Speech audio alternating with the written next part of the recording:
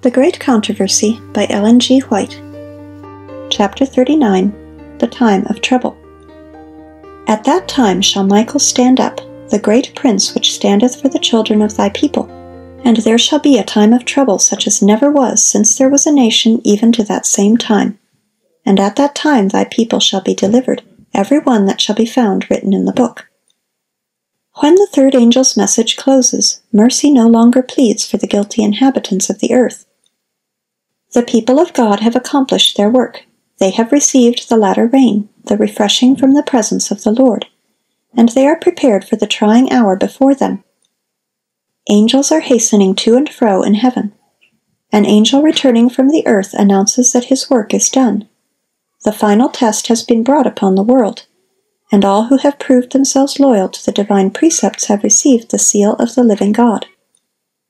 Then Jesus ceases his intercession in the sanctuary above. He lifts his hands and with a loud voice says, It is done. And all the angelic host lay off their crowns as he makes the solemn announcement He that is unjust, let him be unjust still. And he which is filthy, let him be filthy still. And he that is righteous, let him be righteous still and he that is holy, let him be holy still. Every case has been decided for life or death. Christ has made the atonement for his people and blotted out their sins. The number of his subjects is made up. The kingdom and dominion and the greatness of the kingdom under the whole heaven is about to be given to the heirs of salvation, and Jesus is to reign as King of kings and Lord of lords. When he leaves the sanctuary, darkness covers the inhabitants of the earth. In that fearful time the righteous must live in the sight of a holy God without an intercessor. The restraint which has been upon the wicked is removed, and Satan has entire control of the finally impenitent. God's long suffering has ended. The world has rejected his mercy, despised his love, and trampled upon his law. The wicked have passed the boundary of their probation. The Spirit of God persistently resisted has been at last withdrawn. Unsheltered by divine grace, they have no protection from the wicked one. Satan will then plunge the inhabitants of the earth into one great final trouble. As the angels of God cease to hold in check the fierce winds of human passion, all the elements of strife will be let loose. The whole world will be involved in ruin more terrible than that which came upon Jerusalem of old. A single angel destroyed all the firstborn of the Egyptians, and filled the land with mourning. When David offended against God by numbering the people, one angel caused that terrible destruction by which his sin was punished. The same destructive power exercised by holy angels when God commands will be exercised by evil angels when he permits. There are forces now ready and only waiting the divine permission to spread desolation everywhere. Those who honor the law of God have been accused of bringing judgments upon the world, and they will be regarded as the cause of the fearful convulsions of nature and the strife and bloodshed among men that are filling the earth with woe. The power attending the last warning has enraged the wicked. Their anger is kindled against all who have received the message, and Satan will excite to still greater intensity the spirit of hatred and persecution. When God's presence was finally withdrawn from the Jewish nation, Priests and people knew it not. Though under the control of Satan, and swayed by the most horrible and malignant passions, they still regarded themselves as the chosen of God. The ministration in the temple continued, sacrifices were offered upon its polluted altars, and daily the divine blessing was invoked upon a people guilty of the blood of God's dear Son, and seeking to slay his ministers and apostles. So when the irrevocable decision of the sanctuary has been pronounced, and the destiny of the world has been forever fixed, the inhabitants of the earth will know it not. The forms of religion will be continued by a people from whom the Spirit of God has been finally withdrawn, and the satanic zeal with which the prince of evil will inspire them for the accomplishment of his malignant designs will bear the semblance of zeal for God. As the Sabbath has become the special point of controversy throughout Christendom, and religious and secular authorities have combined to enforce the observance of the Sunday, the persistent refusal of a small minority to yield to the popular demand will make them objects of universal execration. It will be urged that the few who stand in opposition to an institution of the church and a law of the state ought not to be tolerated, that it is better for them to suffer than for whole nations to be thrown into confusion and lawlessness. The same argument eighteen hundred years ago was brought against Christ by the rulers of the people. "It is expedient for us," said the wily Caiaphas, "that one man should die for the people, and that the whole nation perish not." This argument will appear conclusive, and a decree will finally be issued against those who hallow the Sabbath of the fourth commandment, denouncing them as deserving of the severest punishment, and giving the people liberty after a certain time to put them to death. Romanism in the Old World, and apostate Protestantism in the New, will pursue a similar course toward those who honor all the divine precepts. The people of God will then be plunged into those scenes of affliction and distress described by the prophet as the time of Jacob's trouble. Thus saith the Lord, We have heard a voice of trembling, of fear and not of peace; all faces are turned into paleness. Alas, for that day is great, so that none is like it; it is even the time of Jacob's trouble, but he shall be saved out of it. Jacob's night of anguish when he wrestled in prayer for deliverance from the hand of Esau, represents the experience of God's people in the time of trouble. Because of the deception practiced to secure his father's blessing, intended for Esau, Jacob had fled for his life, alarmed by his brother's deadly threats. After remaining for many years in exile, he had set out at God's command to return with his wives and children, his flocks and herds, to his native country. On reaching the borders of the land, he was filled with terror by the tidings of Esau's approach at the head of a band of warriors, doubtless bent upon revenge. Jacob's company, unarmed and defenseless, seemed about to fall helpless victims of violence and slaughter. And to the burden of anxiety and fear was added the crushing weight of self reproach, for it was his own sin that had brought this danger. His only hope was in the mercy of God; his only defense must be prayer. Yet he leaves nothing undone on his own part to atone for the wrong to his brother, and to avert the threatened danger. So should the followers of Christ, as they approach the time of trouble, make every exertion to place themselves in a proper light before the people, to disarm prejudice, and to avert the danger which threatens liberty of conscience. Having sent his family away, that they may not witness his distress, Jacob remains alone to intercede with God. He confesses his sin and gratefully acknowledges the mercy of God toward him, while with deep humiliation he pleads the covenant made with his fathers, and the promises to himself in the night vision at Bethel and in the land of his exile. The crisis in his life has come; everything is at stake. In the darkness and solitude he continues praying and humbling himself before God. Suddenly a hand is laid upon his shoulder. He thinks that an enemy is seeking his life and with all the energy of despair he wrestles with his assailant. As the day begins to break, the stranger puts forth his superhuman power; at his touch the strong man seems paralyzed, and he falls, a helpless, weeping suppliant, upon the neck of his mysterious antagonist. Jacob now knows that it is the angel of the covenant with whom he has been in conflict. Though disabled and suffering the keenest pain, he does not relinquish his purpose. Long has he endured perplexity, remorse, and trouble for his sin; now he must have the assurance that it is pardoned. The divine visitant seems about to depart, but Jacob clings to him, pleading for a blessing. The angel urges, "Let me go, for the day breaketh." But the patriarch exclaims, "I will not let thee go, except thou bless me." What confidence, what firmness and perseverance are here displayed! Had this been a boastful, presumptuous claim, Jacob would have been instantly destroyed; but his was the assurance of one who confesses his weakness and unworthiness, yet trusts the mercy of a covenant-keeping God. He had power over the angel and prevailed. Through humiliation, repentance, and self-surrender, this sinful, erring mortal prevailed with the majesty of heaven. He had fastened his trembling grasp upon the promises of God, and the heart of infinite love could not turn away the sinner's plea. As an evidence of his triumph, and an encouragement to others to imitate his example, his name was changed from one which was a reminder of his sin to one that commemorated his victory. and the fact that Jacob had prevailed with God was an assurance that he would prevail with men. He no longer feared to encounter his brother's anger, for the Lord was his defense. Satan had accused Jacob before the angels of God, claiming the right to destroy him because of his sin.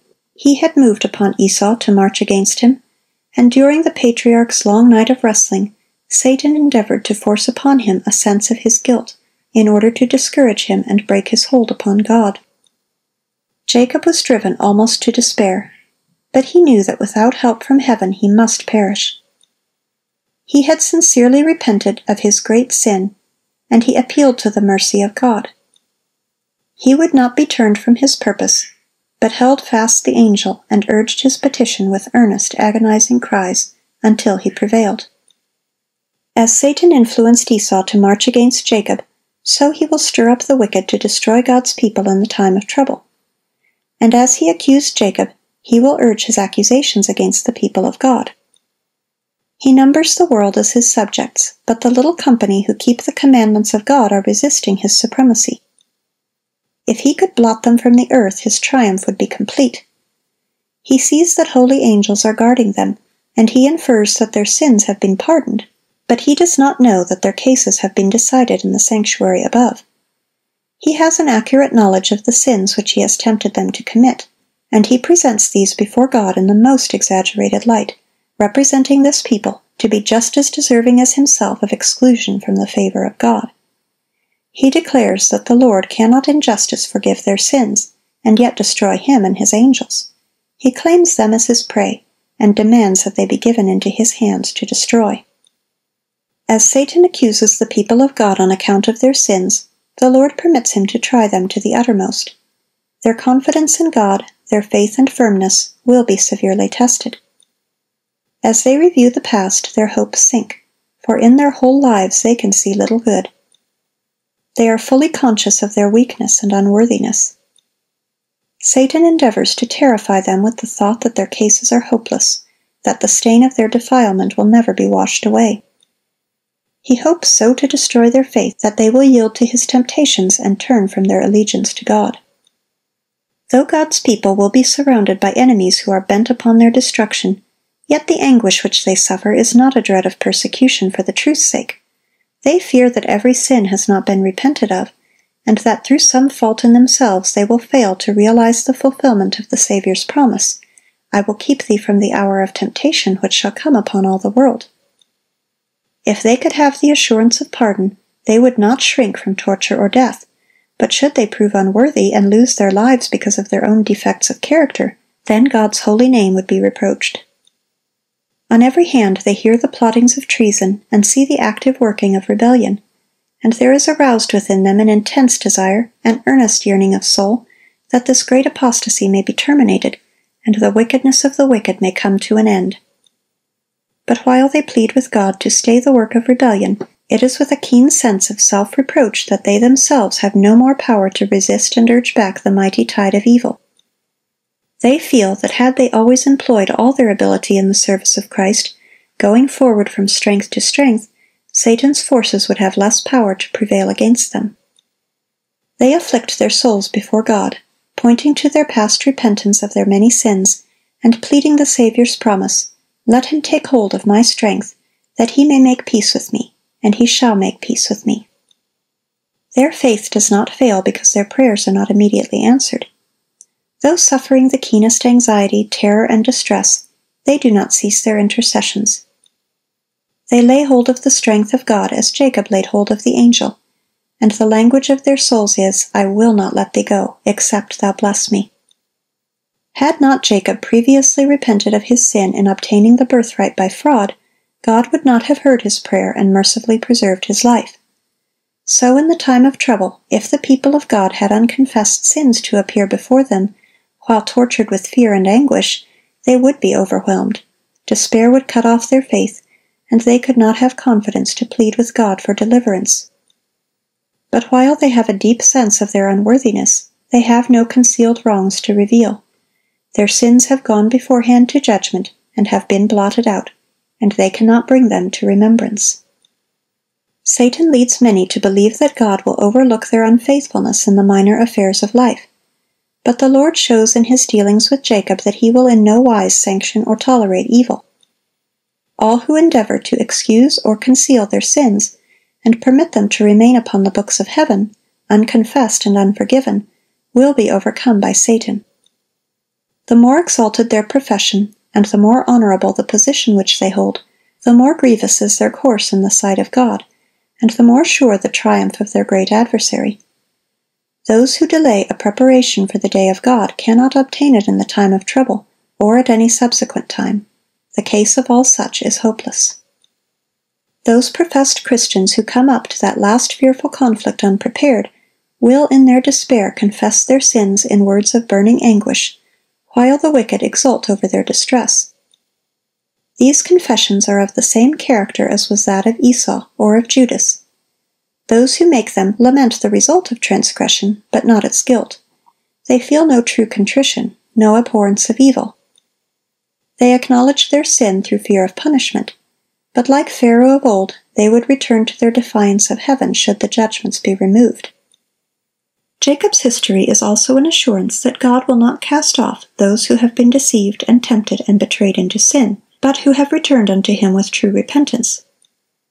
While Satan seeks to destroy this class, God will send his angels to comfort and protect them in the time of peril. The assaults of Satan are fierce and determined. His delusions are terrible. But the Lord's eye is upon his people, and his ear listens to their cries. Their affliction is great, the flames of the furnace seem about to consume them, but the refiner will bring them forth as gold tried in the fire.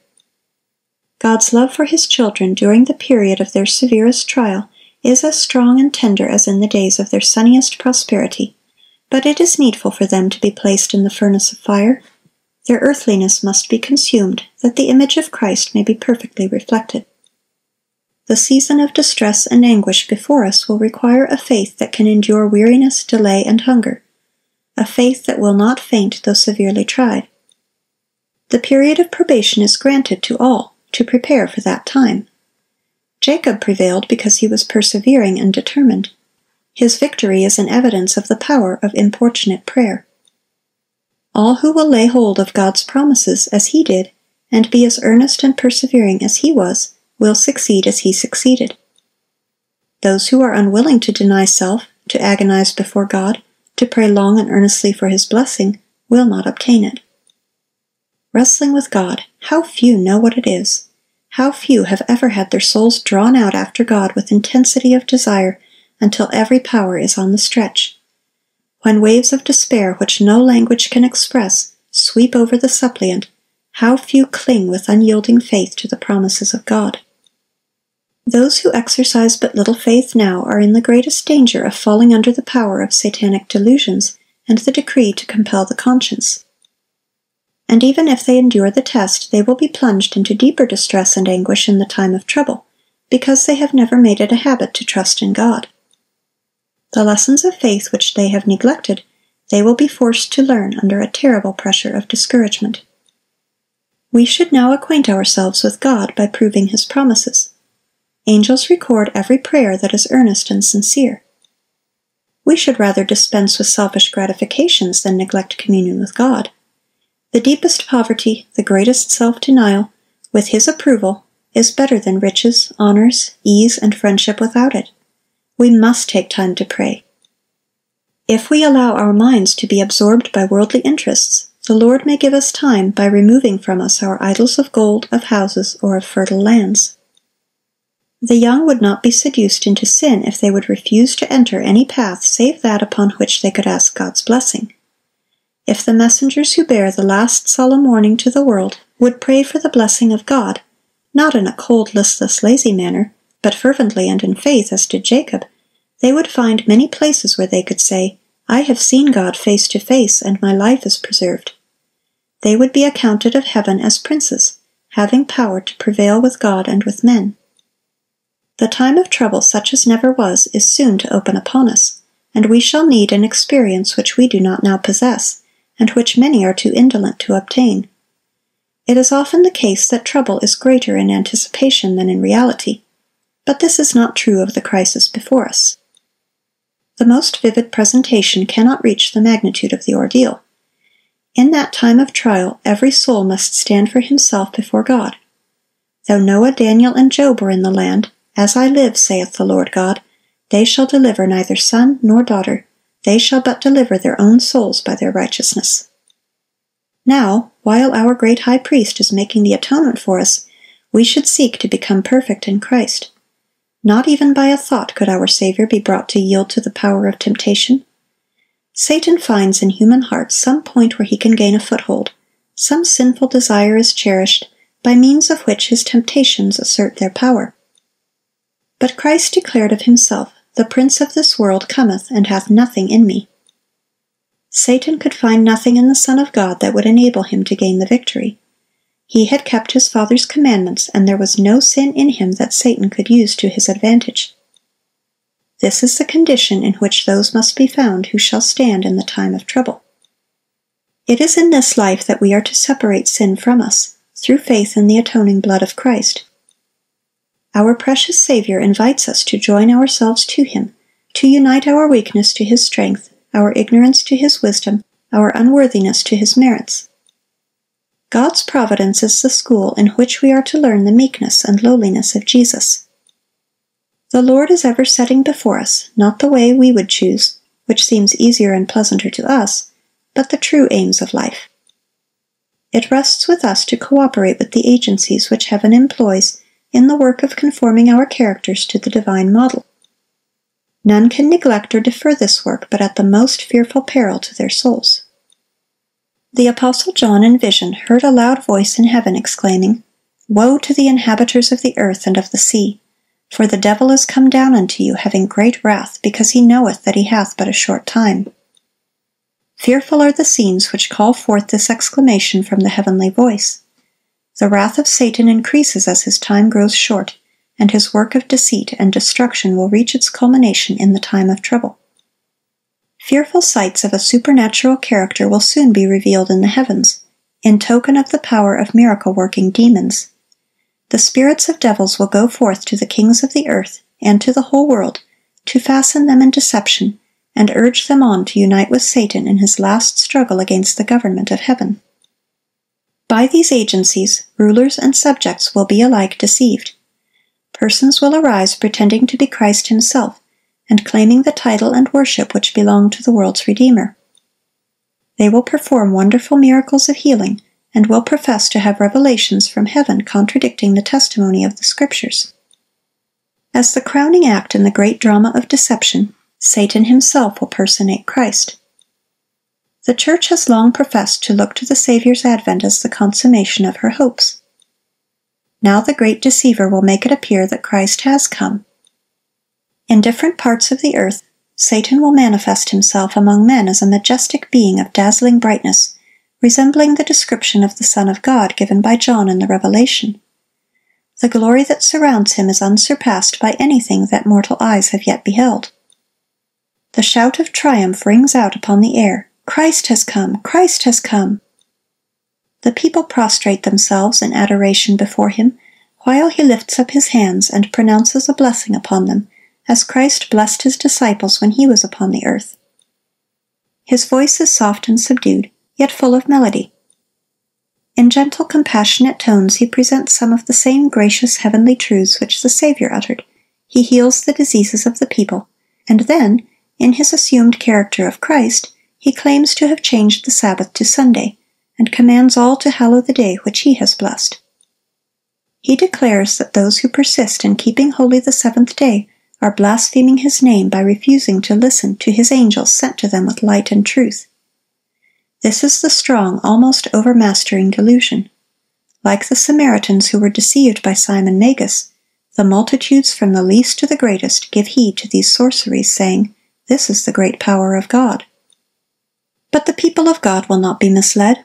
The teachings of this false Christ are not in accordance with the Scriptures. His blessing is pronounced upon the worshippers of the beast and his image, the very class upon whom the Bible declares that God's unmingled wrath shall be poured out. And furthermore, Satan is not permitted to counterfeit the manner of Christ's advent. The Savior has warned his people against deception upon this point, and has clearly foretold the manner of his second coming. There shall arise false Christs and false prophets, and shall show great signs and wonders, insomuch that, if it were possible, they shall deceive the very elect. Wherefore, if they shall say unto you, Behold, he is in the desert, go not forth. Behold, he is in the secret chambers, believe it not. For as the lightning cometh out of the east, and shineth even unto the west, so shall also the coming of the Son of Man be. This coming there is no possibility of counterfeiting. It will be universally known, witnessed by the whole world. Only those who have been diligent students of the Scriptures, and who have received the love of the truth, will be shielded from the powerful delusion that takes the world captive. By the Bible testimony, these will detect the deceiver in his disguise. To all, the testing time will come. By the sifting of temptation, the genuine Christian will be revealed. Are the people of God now so firmly established upon His word that they would not yield to the evidence of their senses? Would they, in such a crisis, cling to the Bible and the Bible only? Satan will, if possible, prevent them from obtaining a preparation to stand in that day. He will so arrange affairs as to hedge up their way, entangle them with earthly treasures, cause them to carry a heavy, wearisome burden, that their hearts may be overcharged with the cares of this life, and the day of trial may come upon them as a thief. As the decree issued by the various rulers of Christendom against commandment keepers shall withdraw the protection of government, and abandon them to those who desire their destruction, the people of God will flee from the cities and villages and associate together in companies, dwelling in the most desolate and solitary places. Many will find refuge in the strongholds of the mountains. Like the Christians of the Piedmont valleys, they will make the high places of the earth their sanctuaries, and will thank God for the munitions of rocks. But many of all nations and of all classes, high and low, rich and poor, black and white, will be cast into the most unjust and cruel bondage. The beloved of God pass weary days bound in chains, shut in by prison bars, sentenced to be slain, some apparently left to die of starvation in dark and loathsome dungeons. No human ear is open to hear their moans, no human hand is ready to lend them help. Will the Lord forget his people in this trying hour? Did he forget faithful Noah when judgments were visited upon the antediluvian world? Did he forget Lot when the fire came down from heaven to consume the cities of the plain? Did he forget Joseph, surrounded by idolaters in Egypt? Did he forget Elijah when the oath of Jezebel threatened him with the fate of the prophets of Baal?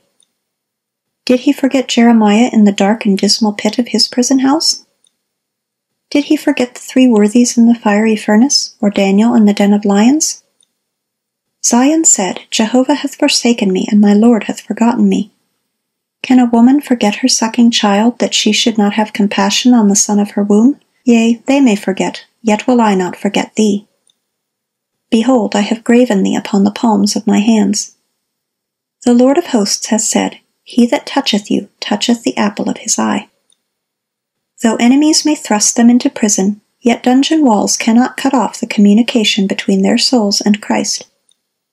One who sees their every weakness, who is acquainted with every trial, is above all earthly powers, and angels will come to them in lonely cells, bringing light and peace from heaven. The prison will be as a palace, for the rich in faith dwell there, and the gloomy walls will be lighted up with heavenly light as when Paul and Silas prayed and sung praises at midnight in the Philippian dungeon. God's judgments will be visited upon those who are seeking to oppress and destroy his people. His long forbearance with the wicked emboldens men in transgression, but their punishment is none the less certain and terrible because it is long delayed. The Lord shall rise up as in Mount Perazim, he shall be wroth as in the valley of Gibeon, that he may do his work, his strange work, and bring to pass his act, his strange act. To our merciful God the act of punishment is a strange act. As I live, saith the Lord God, I have no pleasure in the death of the wicked.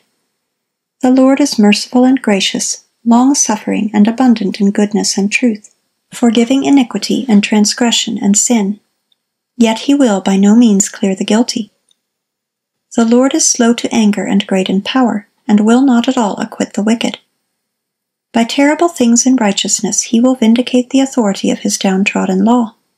The severity of the retribution awaiting the transgressor may be judged by the Lord's reluctance to execute justice. The nation with which he bears long, and which he will not smite until it has filled up the measure of its iniquity in God's account, will finally drink the cup of wrath unmixed with mercy. When Christ ceases his intercession in the sanctuary, the unmingled wrath threatened against those who worship the beast and his image and receive his mark will be poured out. The plagues upon Egypt when God was about to deliver Israel were similar in character to those more terrible and extensive judgments which are to fall upon the world just before the final deliverance of God's people. Says the Revelator, in describing those terrific scourges, "There fell a noisome and grievous sore upon the men which had the mark of the beast, and upon them which worshipped his image. The sea became as the blood of a dead man, and every living soul died in the sea. And the rivers and fountains of waters became blood." Terrible as these inflictions are, God's justice stands fully vindicated. The angel of God declares, "Thou art righteous, O Lord, because thou hast judged thus. For they have shed the blood of saints and prophets, and thou hast given them blood to drink, for they are worthy." By condemning the people of God to death, they have as truly incurred the guilt of their blood as if it had been shed by their hands. In like manner Christ declared the Jews of his time guilty of all the blood of holy men which had been shed since the days of Abel, for they possessed the same spirit and were seeking to do the same work with these murderers of the prophets. In the plague that follows, power is given to the sun to scorch men with fire, and men were scorched with great heat. The prophets thus describe the condition of the earth at this fearful time: "The land mourneth, because the harvest of the field is perished. All the trees of the field are withered, because joy is withered away from the sons of men. The seed is rotten under their clods, the garners are laid desolate. How do the beasts groan! The herds of cattle are perplexed because they have no pasture. The rivers of waters are dried up, and the fire hath devoured the pastures of the wilderness. The songs of the temple shall be howlings in that day, saith the Lord God. There shall be many dead bodies in every place; they shall cast them forth with silence. These plagues are not universal, or the inhabitants of the earth would be wholly cut off. Yet they will be the most awful scourges that have ever been known to mortals. All the judgments upon men, prior to the close of probation, have been mingled with mercy. The pleading blood of Christ has shielded the sinner from receiving the full measure of his guilt; but in the final judgment, wrath is poured out unmixed with mercy. In that day multitudes will desire the shelter of God's mercy, which they have so long despised. "Behold, the days come, saith the Lord God, that I will send a famine in the land, not a famine of bread, nor a thirst for water, but of hearing the words of the Lord: and they shall wander from sea to sea and from the north even to the east, they shall run to and fro to seek the word of the Lord, and shall not find it." The people of God will not be free from suffering, but while persecuted and distressed, while they endure privation and suffer for want of food, they will not be left to perish. That God who cared for Elijah will not pass by one of his self sacrificing children. He who numbers the hairs of their head will care for them, and in time of famine they shall be satisfied. While the wicked are dying from hunger and pestilence, angels will shield the righteous and supply their wants. To him that walketh righteously is the promise, bread shall be given him, his waters shall be sure. When the poor and needy seek water, and there is none, and their tongue faileth for thirst, I the Lord will hear them, I the God of Israel will not forsake them. Although the fig tree shall not blossom, neither shall fruit be in the vines, the labor of the olive shall fail, and the fields shall yield no meat. The flock shall be cut off from the fold, and there shall be no herd in the stalls. Yet shall they that fear him rejoice in the Lord, and joy in the God of their salvation. The Lord is thy keeper, the Lord is thy shade upon thy right hand. The sun shall not smite thee by day, nor the moon by night. The Lord shall preserve thee from all evil, he shall preserve thy soul. He shall deliver thee from the snare of the fowler and from the noisome pestilence.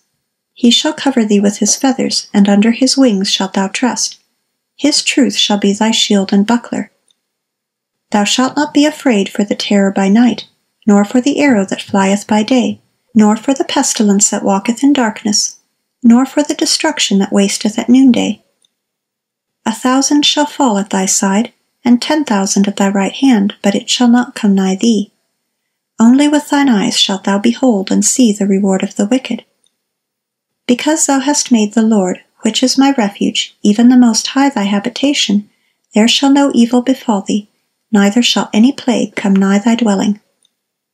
Yet to human sight it will appear that the people of God must soon seal their testimony with their blood, as did the martyrs before them. They themselves begin to fear that the Lord has left them to fall by the hand of their enemies. It is a time of fearful agony. Day and night they cry unto God for deliverance. The wicked exult, and the jeering cry is heard, Where now is your faith?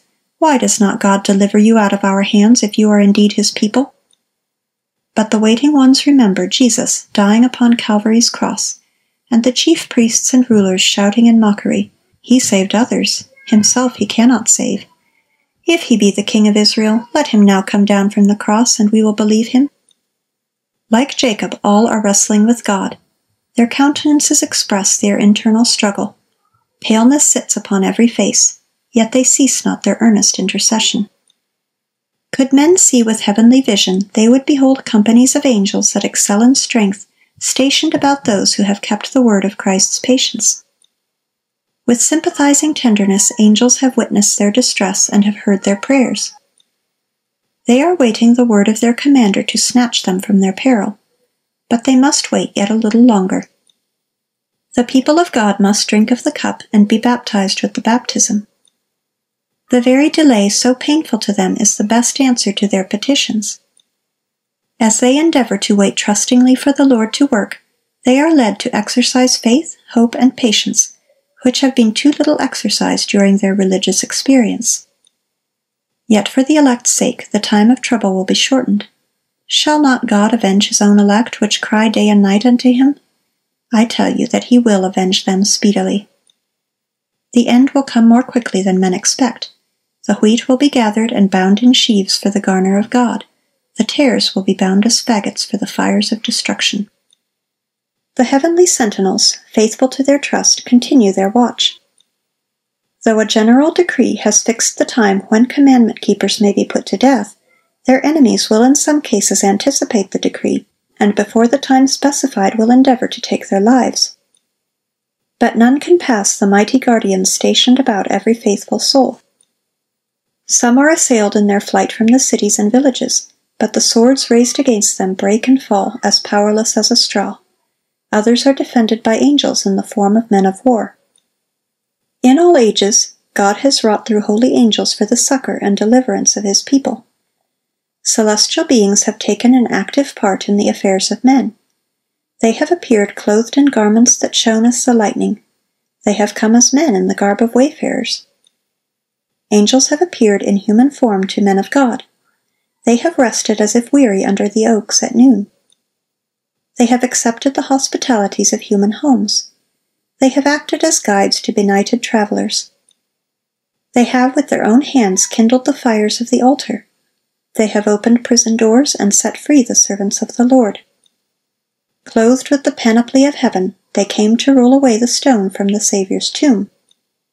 In the form of men, angels are often in the assemblies of the righteous, and they visit the assemblies of the wicked as they went to Sodom, to make a record of their deeds to determine whether they have passed the boundary of God's forbearance. The Lord delights in mercy, and for the sake of a few who really serve Him, He restrains calamities and prolongs the tranquillity of multitudes. Little do sinners against God realize that they are indebted for their own lives to the faithful few whom they delight to ridicule and oppress. Though the rulers of this world know it not, yet often in their councils angels have been spokesmen. Human eyes have looked upon them, human ears have listened to their appeals, human lips have opposed their suggestions and ridiculed their counsels, human hands have met them with insult and abuse. In the council hall and the court of justice, these heavenly messengers have shown an intimate acquaintance with human history. They have proved themselves better able to plead the cause of the oppressed than were their ablest and most eloquent defenders. They have defeated purposes and arrested evils that would have greatly retarded the work of God, and would have caused great suffering to His people. In the hour of peril and distress the angel of the Lord encampeth round about them that fear him, and delivereth them." With earnest longing God's people await the tokens of their coming King. As the watchmen are accosted, "What of the night?" the answer is given unfalteringly, "The morning cometh, and also the night." Light is gleaming upon the clouds above the mountain tops. Soon there will be a revealing of His glory. The Sun of Righteousness is about to shine forth. The morning and the night are both at hand, the opening of endless day to the righteous, the settling down of eternal night to the wicked. As the wrestling ones urge their petitions before God, the veil separating them from the unseen seems almost withdrawn. The heavens glow with the dawning of eternal day, and like the melody of angel songs, the words fall upon the ear, "Stand fast to your allegiance; help is coming." Christ, the almighty Victor, holds out to his weary soldiers a crown of immortal glory, and his voice comes from the gates ajar, "Lo, I am with you; be not afraid. I am acquainted with all your sorrows; I have borne your griefs." You are not warring against untried enemies. I have fought the battle in your behalf, and in my name you are more than conquerors. The precious Saviour will send help just when we need it. The way to heaven is consecrated by His footprints. Every thorn that wounds our feet has wounded His. Every cross that we are called to bear, He has borne before us. The Lord permits conflicts to prepare the soul for peace. The time of trouble is a fearful ordeal for God's people, but it is the time for every true believer to look up, and by faith he may see the bow of promise encircling him. The redeemed of the Lord shall return, and come with singing unto Zion, and everlasting joy shall be upon their head.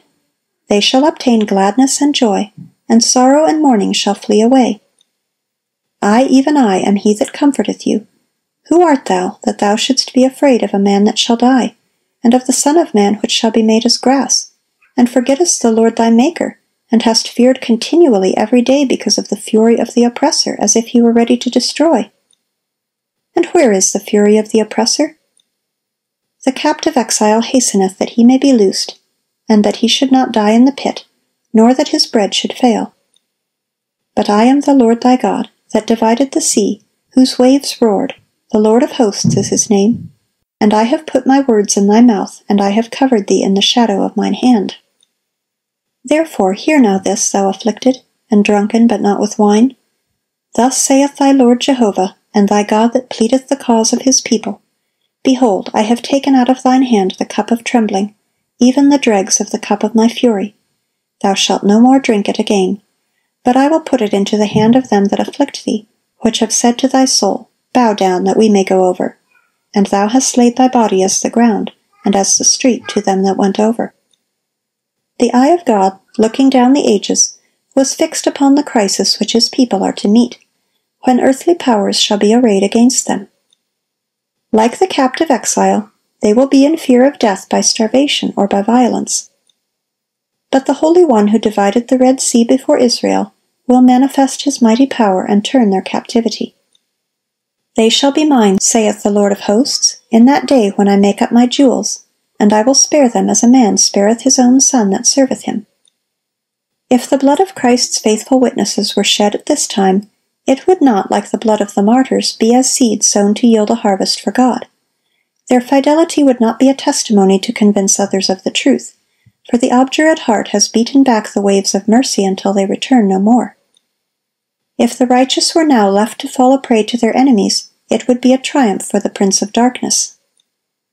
Says the psalmist, In the time of trouble he shall hide me in his pavilion, in the secret of his tabernacle shall he hide me. Christ has spoken. Come, my people, enter thou into thy chambers, and shut thy doors about thee. Hide thyself, as it were, for a little moment, until the indignation be overpast. For behold, the Lord cometh out of his place to punish the inhabitants of the earth for their iniquity. Glorious will be the deliverance of those who have patiently waited for his coming, and whose names are written in the book of life. End of chapter 39.